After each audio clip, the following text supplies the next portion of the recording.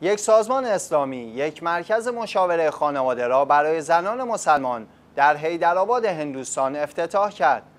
مراکز مشاوره خانوادگی متعددی در بخش‌های مختلف هند از جمله راجستان، جارکند، دهلی و اوتار پرادش فعالیت دارند. ولی این نخستین باری است که جنین مرکزی در حیدرآباد آغاز به کار می کند. این مرکز با هدف حمایت از خانواده ها و رسیدگی به مشاجره های خانوادگی برطرف کردن اختلاف میان زن و شوهرها و رسیدگی به مشکلات آنها از جمله طلاق و تملک اموال راه اندازی می شوند.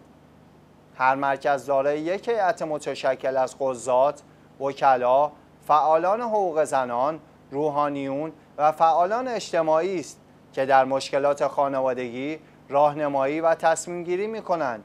قرار است این مراکز جایگزینی برای دادگاه ها برای رسیدگی به امور خانوادگی مسلمانان باشند که توسط خود مسلمانان اداره می شوند.